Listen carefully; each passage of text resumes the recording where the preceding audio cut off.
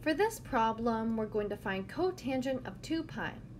Cotangent of 2 pi is equal to cosine of 2 pi over sine of 2 pi. Looking at the unit circle, we can see that 2 pi lies here.